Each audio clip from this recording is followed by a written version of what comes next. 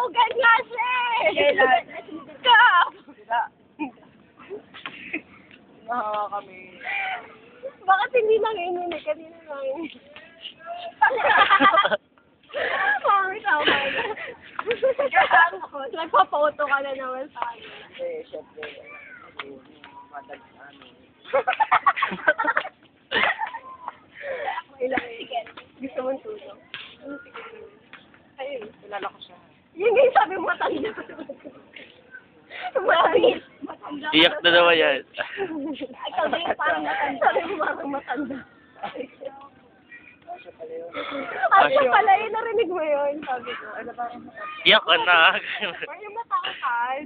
Sabi mo mga 21 na. Sabi mo PM. Be, ah, i-broadcast natin to. Ay, ibig sabihin, ito yung ano, iba yung kilala kong cherubim. Nag-dota kami kanina. Naulo ko eh.